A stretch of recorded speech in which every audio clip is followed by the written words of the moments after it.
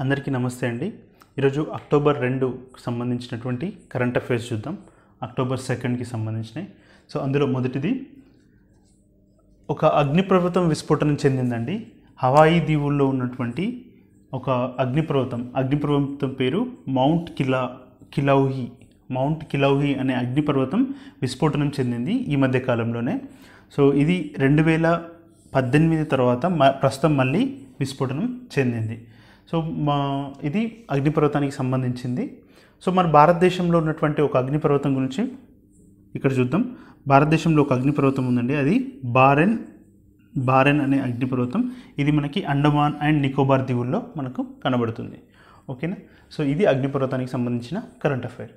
తర్వాత next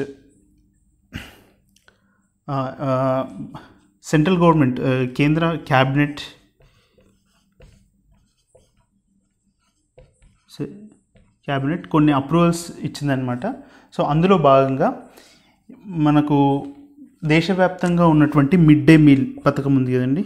mid day meal మధ్యాహ్న భోజన పథకం ఉంటాం కదా. సో మిడ్ డే మీల్ పథకాన్ని మరొక ఐదు సంవత్సరాలు కొనసాగిస్తున్నట్టుగా క్యాబినెట్ నిర్ణయం తీసుకుంది. సో కానీ దానికి పేరు మార్చిందండి. ఇదివరకు మధ్యాహ్న భోజన పథకం ఉండే కే మిడ్ డే మీల్ స్కీమ్ అని. దాన్ని ప్రధానమంత్రి పోషణ నిర్ శక్తి నిర్మాణ్ ప్రధాన్ మంత్రి పోషణ శక్తి నిర్మాణ్ అనే పేరుతో ఇక్కడ నుంచి అది కంటిన్యూ అవుతుంది. సో ఇప్పుడు ఏంటంటే ఐదు సంవత్సరాలు కేంద్ర క్యాబినెట్ ఇది మరొక ఐదు సంవత్సరాలు కంటిన్యూ చేయడానికి అప్రూవల్ ఇచ్చింది అదేవిధంగా పేరు మార్చింది. ఓకేనా? నెక్స్ట్ ఇది ఒక బుక్కి సంబంధించిందండి. ఆ బుక్ యొక్క నేమ్ ఏంటంటే chronicle from the land of the happiest people on the earth. So ఇది బుక్ నేమ్ అండి. ఈ బుక్ని రాసింది ఎవరు అంటే ఓల్ ఓలే సోయింకా. సో ఓలే సోయింకా అనే రచయిత ఈ బుక్ని రాశారు. ఆయన నైజీరియా దేశానికి సంబంధించిన వ్యక్తి. సో ఆయనకి పంతొమ్మిది వందల ఎనభై ఆరులో నోబెల్ ప్రైజ్ వచ్చింది. సో ఈయన ఏంటంటే పంతొమ్మిది వందల డెబ్బై మూడులో ఒక పుస్తకం రాశాడు సీజన్స్ ఆఫ్ ఆనమీ. సో ఈ బుక్ రాసిన తర్వాత ఇప్పటి వరకు మళ్ళీ పుస్తకం రిలీజ్ చేయలేదండి. డైరెక్ట్గా మళ్ళీ ఇప్పుడు ట్వంటీ ట్వంటీ వన్లో ఈ chronicle from the land of the happiest people on the earth సింపుల్గా the happiest people on the earth అనే బుక్ని ఎవరు రాశారు? ఓలే సోయంకా. ఓకేనా ఈయన నా- నైజీరియా దేశానికి చెందిన వ్యక్తి. Next Hurun India rich list. So ఇది ఏంటంటే ప్రతి సంవత్సరము భారతదేశంలో ఉన్నటువంటి అత్యంత ధనికులు ఎవరు అనేదాన్ని అధ్యయనం చేస్తూ ఒక ప్రతి సంవత్సరం ఒక ర్యాంకింగ్ని ఇవ్వడం జరుగుతుందన్నమాట. సో ఈ సంవత్సరం ఈ ర్యాంకింగ్ ఇచ్చిందండి. అందులో మొదటి స్థానంలో అంబానీ ఉన్నారు ముఖేష్ అంబానీ. సో ఈయన గత పది సంవత్సరాల నుంచి గత పది సంవత్సరాల నుంచి ఈయనే మొదటి స్థానంలో ఉంటున్నారు ఉంటూ వచ్చారు. మొదటి స్థానంలో ఉన్నారు. సో మొదటి స్థానంలో ఎవరు? ముఖేష్ అంబానీ. రెండో స్థానంలో గౌతమ్ అదానీ. మూడో స్థానంలో శివనాడర్ ఈ ముగ్గురు ఉన్నారండి.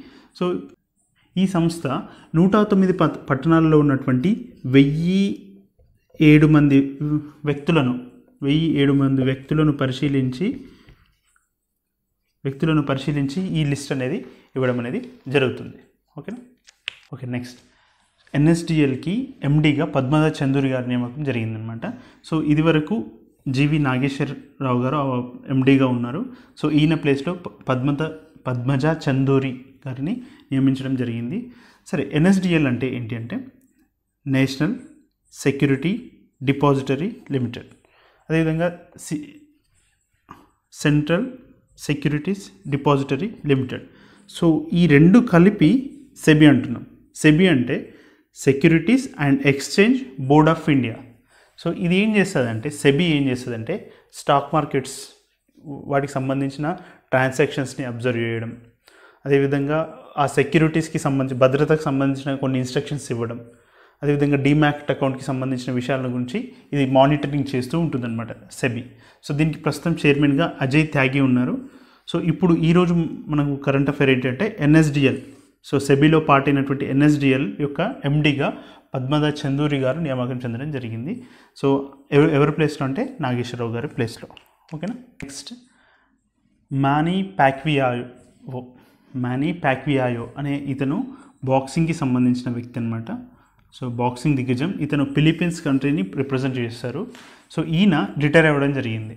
సో ప్రస్తుతం ఆయన వయసు నలభై సంవత్సరాల వయసులో ఫిలిప్పీన్స్కి ప్రాతినిధ్యం వహించే బాక్సింగ్ బాక్సింగ్ దిగ్గజం మానీ ప్యాక్వియావో ఆయన రిటైర్ అవ్వడం జరిగింది. సో ఇతనికి ఒక నిక్నేమ్ ఉందండి ప్యాక్మెన్ అని. సో ఇతను పన్నెండు వరల్డ్ వైడ్ డిఫరెంట్ వెయిట్స్లో వరల్డ్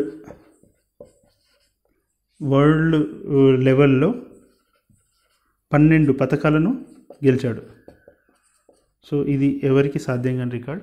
సో మేజర్ ఈవెంట్స్ ఇవన్నీ. ఇవన్నీ పన్నెండు పథకాలు కూడా మేజర్ ఈవెంట్స్. అంటే ఫర్ ఎగ్జాంపుల్ వరల్డ్ ఛాంపియన్షిప్ అని సో వరల్డ్ కప్స్ అని అలాంటివి ఉంటాయి కదండి. మే వరల్డ్ లెవెల్లో మేజర్ ట్వెల్వ్ పథకాలను ఇతను పొందడం జరిగింది. ఇప్పటివరకు ఏ బాక్స్ బాక్సర్ కూడా అది సాధించలేదు.